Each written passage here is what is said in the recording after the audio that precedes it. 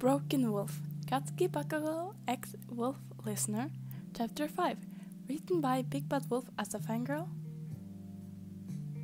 Writ Link in the description below. Let's begin. We, we woke up to someone yelling. He woke up a bit jolty, expecting to be in a rush cage or chains to a bloody stained wall. Your master coming into the room, drunk or angry, and beat you to vent. It surprised you to find that you were on a soft bed in a slightly unkept room that looked like it belonged to a teenage boy. Clothes in your body felt different, and the collar was no longer around your neck, making you even more confused. Memories of the day before came to you, and you relaxed a bit until you heard the yelling again. Yelling and uh, almost falling off the bed. Shit here, I told you not to go in my room. Bakugo's familiar voice came through the door, and you panicked. B Baku, bro. Another voice whined, the doorknob turning, and you sat, frozen in fear.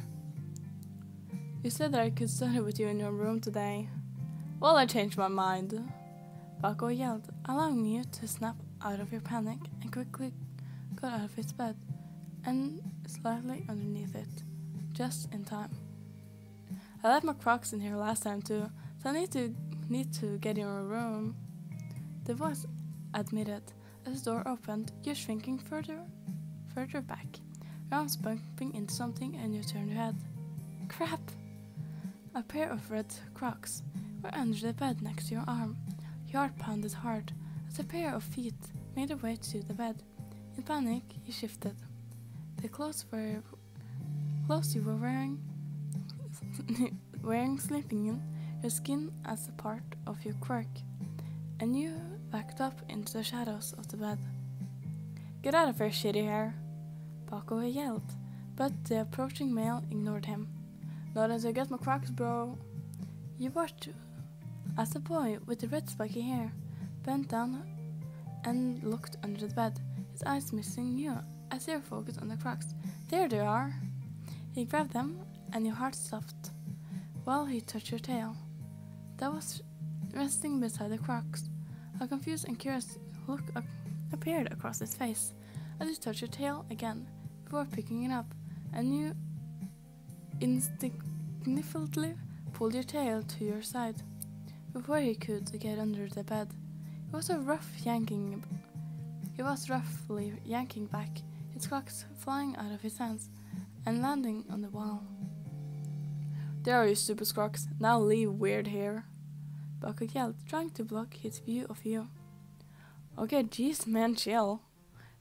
The redhead sweat, sweet sweat dropped, glancing at the bed bef briefly before standing up, hands in hands in front of him. I'm leaving, okay? Just chill. You watched as the back as he backed out of the room. Bakugo slammed the door after he left were relaxing a little, only to tense up when the blonde came towards you. You sat down about two feet from the bed and bent down, looking at you as you stayed against the wall, keeping your guard up, as you expect him to yell at you for almost getting caught. After a minute, minute of just staring, you hesitantly crawled out from under the bed, your ears pinned back and your tail between your legs, as you come, come towards Bakugo.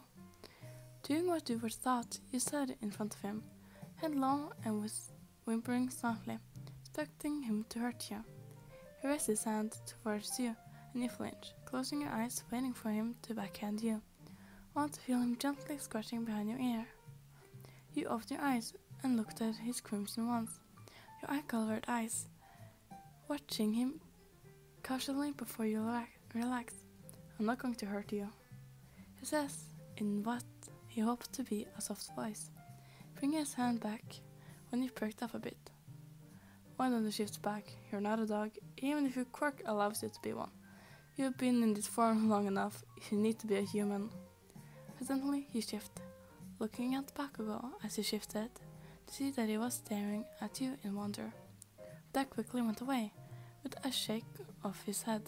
He was about to speak when the door to his room opened, making you panic and shift jumping towards forward and presenting your head on Bakugo's chest, lying down on his lap. No fair, you get to have a dog. The redhead complained, shutting the door behind him. Get out of here, idiot! Bakugo growled, glaring at him, but didn't get up, knowing that that would frighten you even more. Did I so allow you to have it? He asked innocently, ignoring the warning from the blonde, and sat up from the floor next to him. She's not an it, Bakugo hissed, before but didn't, still didn't move, except to gently run his hand through your black fur. Leave now, shitter, before I throw you out of the window. What's her name? Clearly, he took up of Bakugo's threats as a bluff, making you pick up from the chest you had just been pushed your head into. A soft kind smile came from him, and your tail wagged a little as you straightened yourself to sit up, looking at the floor, expecting floor. Bakugo tusked, annoyed, and scratched behind your ears, making you relax. When? Now leave. Bakugo ordered, glaring at the shark-toothed boy. Not until you let me know how you found her. He pushed, reaching out to touch you, only for you to pull back, whimpering. He stopped his hand just a bit from you and waited, your eyes starting from, from his sharp-toothed smile to Bakugo's annoyed look. But he looked like he trusted. But he looked like he trusted the redhead. He hesitantly came closer to his hand and pushed your snout against it, allowing him to run his fingers through your fur. Guess there's no point in trying to cover it up. Mur murmured, irritated. I'll tell you later. Now just go and leave. Fine.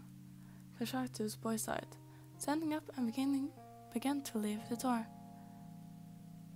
And don't worry, I'll keep your secret. I mean, what are friends for? Bakugo glared at him before looking back at you. Your had lowering against your wait waited to be scolded after the door room closed. Instead of doing that, he just continued to gently stroke your fur, to surprise, surprising you a little, which how gentle he was. that was Kirishima. Bakugo explained, sighing in annoyance, but he still kept his face calm. Could you shift back? You nodded and obeyed, shifting to human form. Bakugo watched with the same wonder as before. Awkwardly backed up, finding you were a lot closer to him than before, and looked at the floor as you sat across sat cross-legged. He seems nice, he said in a soft, mostly quiet voice, not looking up from the floor. He's an idiot. Bakugo commented before standing up and offering you, his hand. As always, getting a second bed in here would cause suspicion, so we will have to sleep in the same bed. You pick which side of the bed you want, and I'll take the other. That was a fanfiction. Oh my god, that was so cute! yeah. Oh, I was planning to say some, something, but I forgot it. Yeah. Oh, well, I don't know what I was supposed to say. I'll just drink some cola. Good. but no further ado, I see you guys next video. Bye.